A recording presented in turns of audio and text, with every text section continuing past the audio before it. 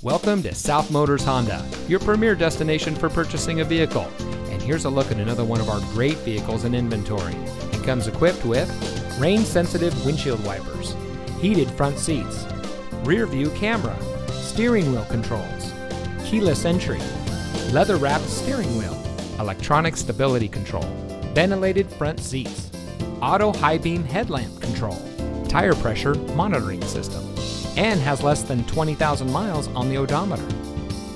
South Motors was founded in 1956 on one principle treat every client like family. More than 60 years later, we are proud to say that we are still locally owned by the same family and we still follow that same family tradition. Our fully transparent shopping experience delivers the best up front, along with a complete vehicle history. And for additional peace of mind, we also offer a three day exchange policy and a financing program custom tailored to you. So come join the family. We're located at 16165 South Dixie Highway in Miami.